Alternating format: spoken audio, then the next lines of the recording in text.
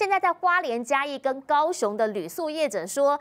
过去两个多月，哎，电话都没响，一片死寂。终于，这沉寂已久的电话声响了。他们以为说呢，生意是不是来了？结果后来发现，询问者多，下定者少。最主要的原因是因为大家都还在观望。毕竟现在还在三级警戒，要提醒所有的朋友，还是必须要待在家里头，非必要尽量不要外出。但是呢，我们政府其实在这一波的微解封当中，其实他们也开放了部分的国旅小包团。好，这呢。也说是这一次很多人打电话询问的主因，但是呢，旅行社方面说他们的订单其实也没有明显的成长的。至于在台南的部分，台南的饭店业者说呢，过去这几个月这订房真的是惨兮兮。那么目前到年底的订房其实都还是很零星的。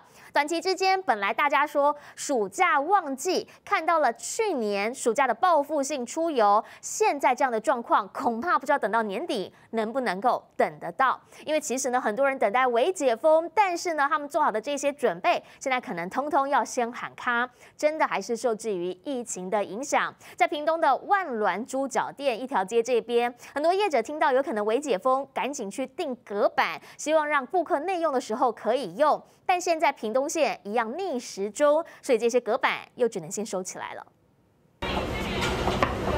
假日万峦猪脚街这家人潮最多，顾客点了猪脚也都只能在柜台前等着外带。餐厅都是有在期待着，等着说我们可以为解封，隔板那些也定制了。三级警戒以来，店里的桌子都拿来堆纸箱杂物。原本期待十三号微解封能开放内用，但屏东县宣布逆时钟，隔板都定制好送来了，也只能先搁着，继续靠着仅剩的三成生意苦撑。而另一家猪脚店更惨，就算疫情趋缓，还是很难盼到客人上门，少了八九成，真的是靠贷款来维持员员工的薪薪资啊。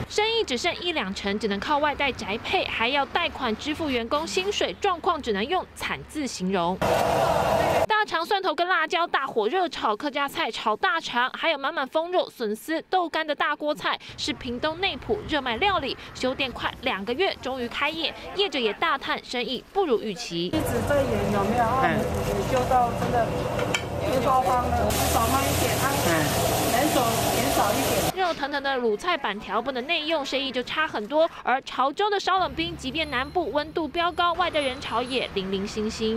如果微解封还可以摆桌子的话，我们还是先不要。毕竟疫情还在，业者对微解封不期待。就算业绩没起色，还是防疫优先，期待全国解封，让业绩回流。记者张春华、屏东报道。好，来看到网络上的哈，于浩君说没钱不会伪旅行。那田园大也说，希望大家呢都乖乖待在家里头，因为伪解封其实呢是未解封，就是伪造的伪假的意思。但其实要告诉大家的是，现在真的在这一次的暑假，人流以及人潮跟以往都大不相同，当然也会影响到了金流了。因为呢，目前还是三级警戒，所以呢，本来很多大学生暑假的时候可以打工来筹措学费或生活费，也许呢，也是有人想要提早的规划他的职涯。但目前遇上了史无前例的三级警戒，想要打工赚外快真的是难之又难。一一的人力银行就说了，去年四月到六月底的攻读机会增加了百分之二十二，但今年同期则是下滑了百分之十五。这当中呢，大部分打工很大一部分的人力需求来自于餐饮业。那现在你也看到了，因为呢禁止内用政策仍旧持续当中，很多限制都还是不开放内用的，所以这一波的人力当然也就无去处了。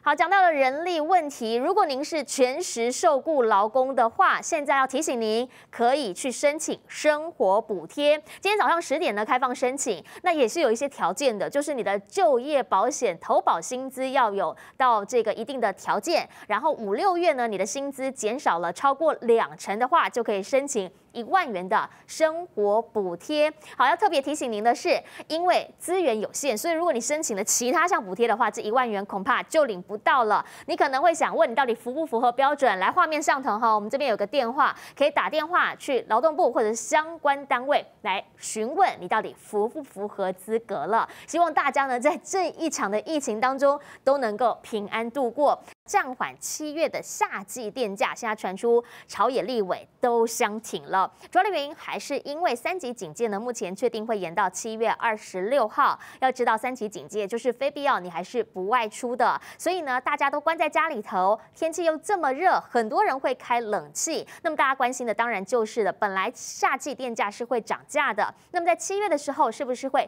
暂缓实施夏季电价呢？行政院到目前为止对此都还没有松口，台电的方式说要真的是。动涨的话，那么这有可能会短少了十四亿的财务收入。但是呢，朝野之间你会发现，不论是民进党的何志伟、国民党的洪孟凯，又或者是民众党的张其禄。大家都还是认为应该要暂缓实施夏季电价必须动涨，最主要的原因呢，还是因为考量到所有的民众都待在家里头，用电量一定会提升。那么立委特别跟台电讲了，不用担心明年会被检讨，最主要原因是因为今年的状况啊就是不一样嘛。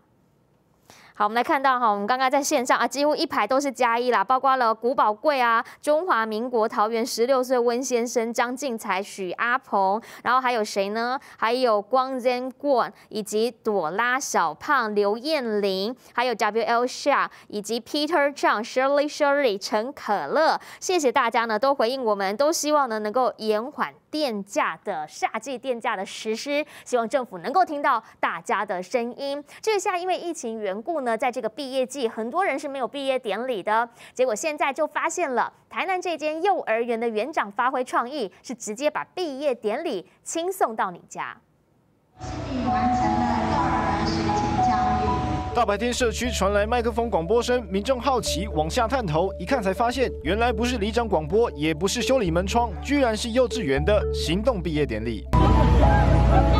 同学好感伤，舍不得和老师分开，因为考量到疫情，学校无法办大型毕业典礼。台南一间幼稚园突发奇想，将娃娃车布置成毕业典礼舞台，整路啪啪照，直接将毕业典礼外送到府。利用了三天的时间，每一家每一户。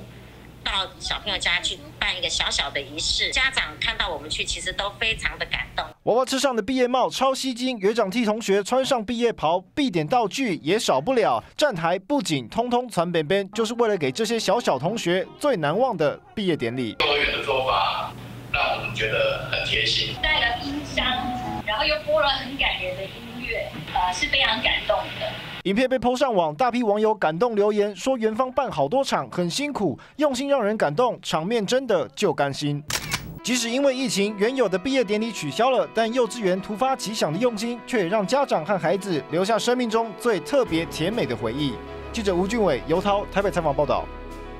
好，明天开始微解封，都要提醒大家是不包括开放幼儿园这么一件事的。很多家长说都快要崩溃了。台北市宣布了，七月十九号，只要接种过疫苗的幼儿园教师，你能够提出阴性证明就可以复业。但是双北显然不同调，新北市长侯友谊说了，说从五月九号一直到七月七号期间，零到六岁的确诊人数高达一百七十五人。而这段时间呢，幼儿园的老师虽然说疫苗施打率已已经有达到百分之九十三了，但是还需要两个星期的保护期，所以幼儿园跟托育是不是开放，他们还是必须谨慎面对。至于大家这段时间非常关心我们的托育、我们的幼儿园要不要开放，其实对新北市来讲，从五月九号到七月七号，零到六岁的幼儿的确诊人士高达一百七十五人，主要来自于家父的感染。所以，对幼儿园托育的开放，我们真的要非常的谨慎。虽然这一段时间，我们幼儿园的老师们在施打疫苗，已经打到九成三，陆陆续续还在施打当中。不过，当施打完成以后，还要两个礼拜的保护期。所以，幼儿园跟托育真正要开放，必须要谨慎的面对。